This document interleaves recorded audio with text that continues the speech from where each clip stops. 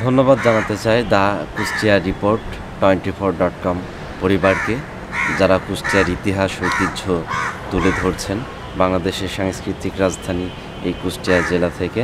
তাদের এই পত্রিকাটির মাধ্যমে কুষ্টিয়া সহ পার্শ্ববর্তী যে বিভিন্ন জেলার খবরাখবর তুলে ধরা হয় এবং এই পত্রিকাটি পাঠকের হৃদয়ে ইতিমধ্যে জায়গা করে নিয়েছে।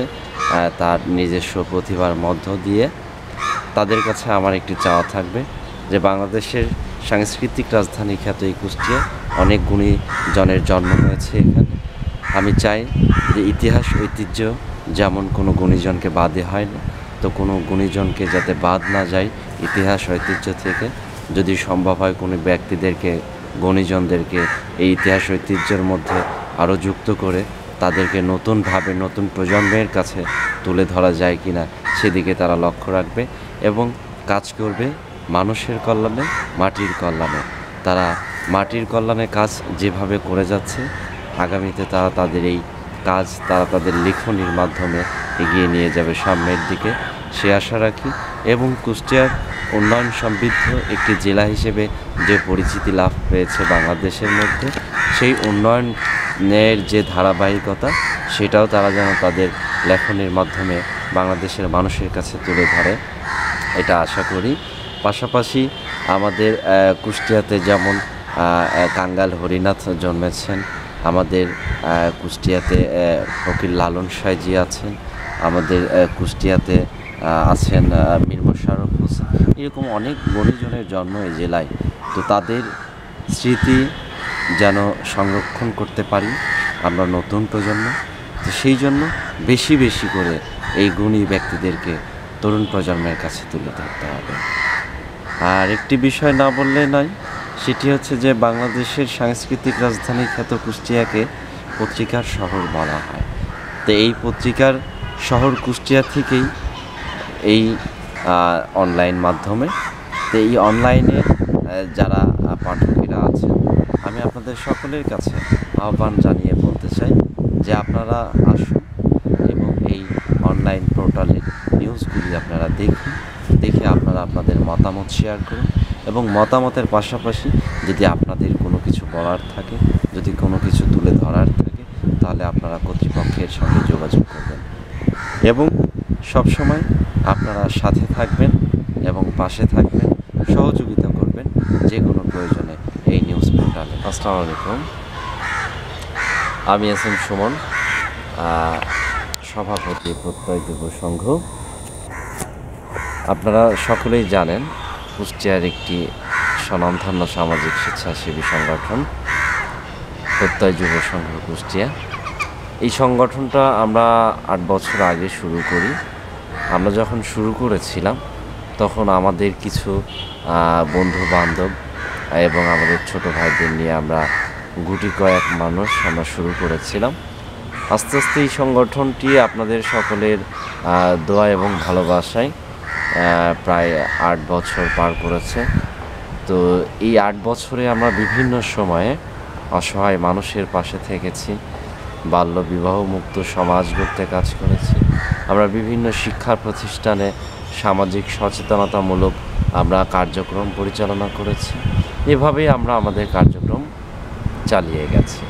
পাশাপাশি কখনো কোনো প্রয়োজনে যদি অসহায় মানুষ ডাক দিয়েছে, তো আমরা তার প্রয়োজনে ছুটে চলে গেছি। আমাদের এই সকল মানবিক ও সামাজিক কাজে সবসময় সুন্দর, সৎ সুপরামর্শ দিয়ে- যিনি আমাদের পাশে থাকেন, তিনি বাংলাদেশের বিখ্যাত চলচ্চিত্র অভিনেতা, কুষ্টিয়ার কৃতি সন্তান আহমেদ শরীফ স্যার। যে মানুষটি সবসময় আমাদেরকে সহযোগিতা ও সুপরামর্শ দিয়ে চলেছে। আমরা যখন এই মানবিক এবং সামাজিক কাজ করতে যাই, সমাজের নানা বাধা বিপত্তি আমাদেরকে পার করতে হয়। তো সেই বাধা বিপত্তি পার করে যারা সামনের দিকে এগিয়ে যায়, জনগণের কল্যাণে কাজ করার মাধ্যমে কেবল তারাই মানুষের হৃদয়ে জায়গা করে নিতে সক্ষম হয় বলে মনে হয়। আমাদের এই সংগঠন থেকে প্রতি বছর অসহায় বাচ্চাদের মধ্যে জামা, প্যান্ট এবং উন্নত মানের ইফতার বিতরণ করা হয়। এছাড়াও কোরবানি ঈদে অসহায় নারীদের মধ্যে সেমাই, চিনি ও শাড়ি লুঙ্গি বিতরণ করা হয়ে থাকে। পাশাপাশি বিভিন্ন শিক্ষা প্রতিষ্ঠান সহ সামাজিক উন্নয়ন কার্যক্রম আমরা করে থাকি।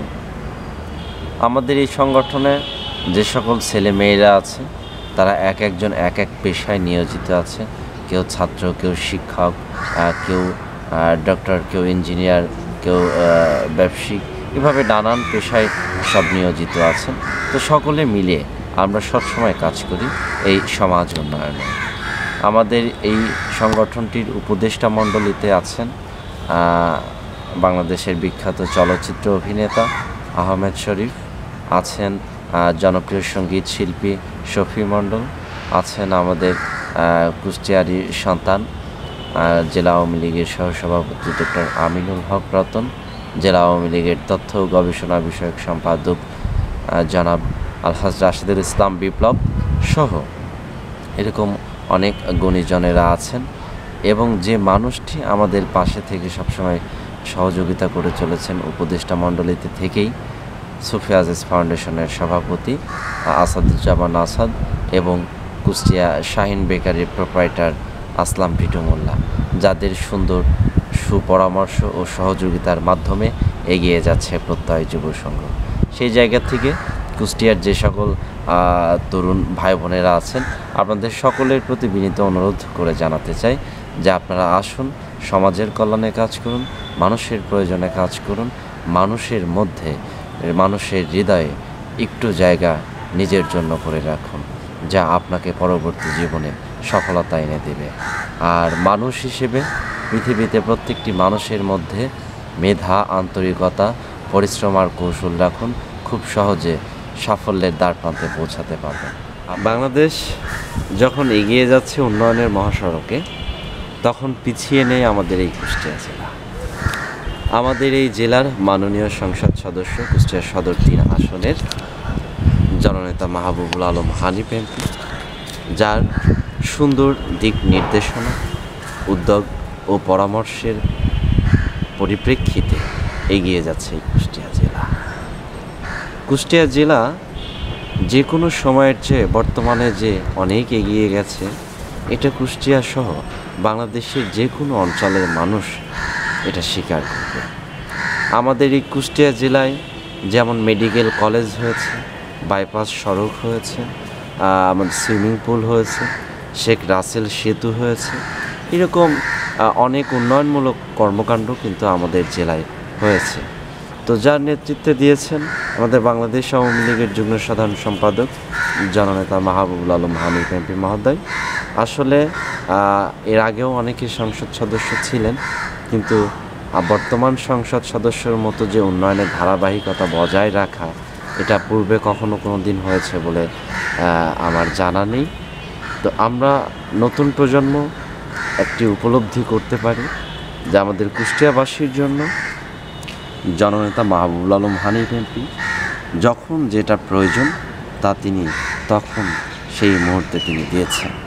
আসলে কুষ্টিয়ারবাসী আমরা সবসময় বলি এবং বলব যে ভবিষ্যতে আমরা জননেতা মাহবুব আলম হানিফ এমপি মহোদয়ের কাছে আমরা কুষ্টিয়াবাসী, উন্নয়নের ঋণ, এটা কখনোই শোধ করা সম্ভব নয়। তারপরেও যাতে আমরা তার কাছে উন্নয়নের ঋণ পরিশোধ করতে পারি একটি ভোটের মাধ্যমে এবং নৌকাকে বিজয়ী করে সেদিকে সকলে লক্ষ্য রাখবেন। আর একটি উন্নয়ন প্রকল্প শুরু হতে এবং শেষ হতে দীর্ঘ একটি সময় লাগে। আসলে পাঁচ বছর সময় একটি বড় প্রজেক্টের জন্য অনেক কম সময় হয়ে দাঁড়ায়। তো সেই জন্য দীর্ঘমেয়াদী একটি প্রকল্প পরিচালনার ক্ষেত্রে দীর্ঘমেয়াদী একটি সরকার বা দীর্ঘমেয়াদী একটি সংসদ সদস্য অত্যন্ত জরুরি প্রয়োজন। তো সেই জায়গা থেকেও আমরা কুষ্টিয়াবাসী ভুল করিনি। সেই ভুল না করার ফল আমরা ভোগ করছি, যার কারণে দুর্বার গতিতে উন্নয়নের মহাসড়কে এগিয়ে যাচ্ছে আমাদের কুষ্টিয়া জেলা। বাংলাদেশের মধ্যে আরও অনেক সুনাম উজ্জ্বল করবে এবং আরও অনেক দূরে এগিয়ে যাবে। আমি গর্ব করি, আমরা গর্বিত। আমরা কুষ্টিয়াবাসী, আমাদের সংসদ সদস্য জননেতা মাহবুব আলম হানিফ